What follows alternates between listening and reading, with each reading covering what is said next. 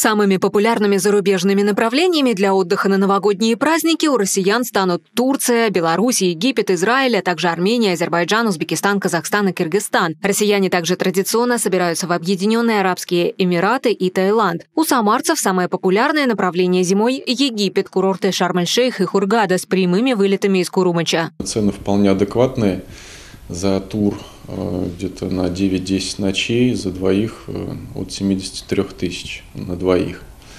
Э, дешевле вылеты, например, 22-23, когда до Нового года еще целая неделя остается. И существенно растет цена уже 120-130 тысяч, если вы хотите улететь непосредственно 30 числа, например.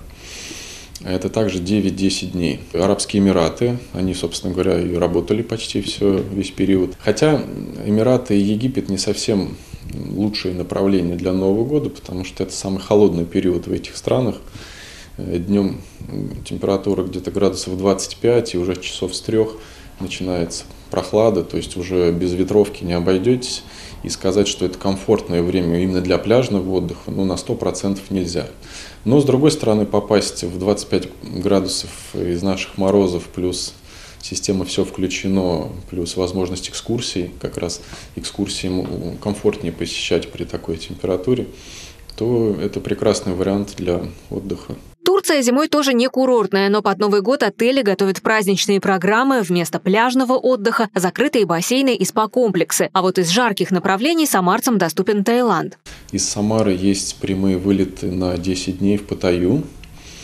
А, мы все за последние годы привыкли к острову Пхукет, потому что они по деньгам с Паттайей были одинаковы, но при этом Пхукет более экзотичен, где-то 100 30 тысяч за двоих – это как бы на Новый год, новогодний пакет.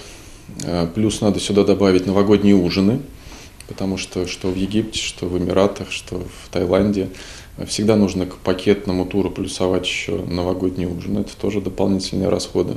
Дешевле в Таиланд, Египет и Эмираты можно улететь из Казахстана, отмечают туроператоры. Из Уральска, из Астаны, ну, из казахстанских э, городов – там даже есть возможность немножко сэкономить. Конечно, это немного сложно, осложняется тем, что надо э, такси до Уральска заказать, хотя у нас есть и надежные таксисты, которые работают связке с туроператором, и мы уверены, что они довезут в лучшем виде. За последние несколько месяцев почти все популярные пляжные страны отменили ограничения, которые вводили в период пандемии коронавируса. Если раньше требовался сертификат, а, на английском языке, плюс э, перед поездкой за три дня вы сдаете тест, ПЦР-тест, то сейчас все страны, перечисленные, которые мы уже упоминали, они сняли все эти ограничения, не нужно заполнять ни декларацию о здоровье, ни э, тесты сдавать, ни показывать сертификаты.